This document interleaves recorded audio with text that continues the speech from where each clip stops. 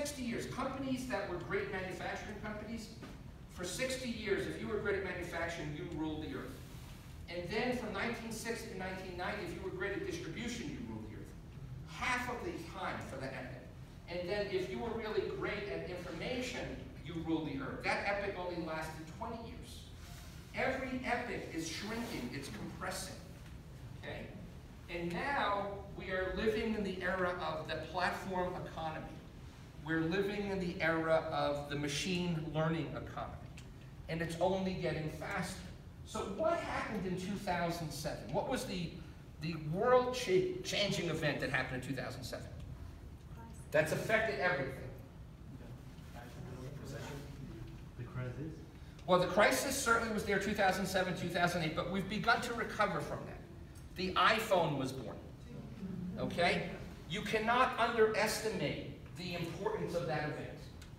The iPhone was the first product in history to sell a billion SKUs.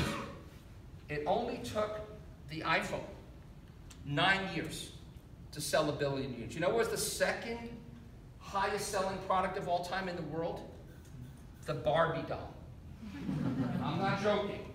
The Barbie doll took 45 years to get to 800 million units. The iPhone took nine years to get to now 1.3 billion units. Okay?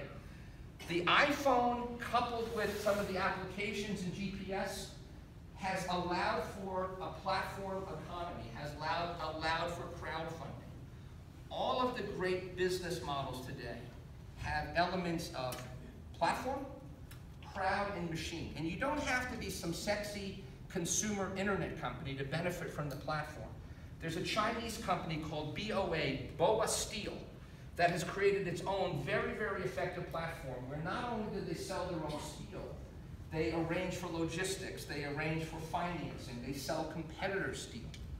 So if you look at the way that Wall Street or other major financial markets value companies, platform companies scale like no one else.